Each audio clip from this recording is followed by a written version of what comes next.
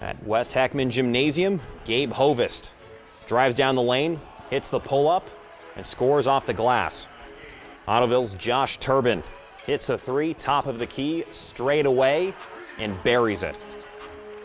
Later on, Kalida's Zach Vonderembse drives down the lane, scores with a defender in his face, no problem, and good for two. Ottoville's Rex Seaver with the block. Clean block right there, and Luke Earhart drives and scores up, around, and in. Need a little luck there. Rex Seaver scores again in the paint. On the out of bounds play, turnaround floater rattles around and down.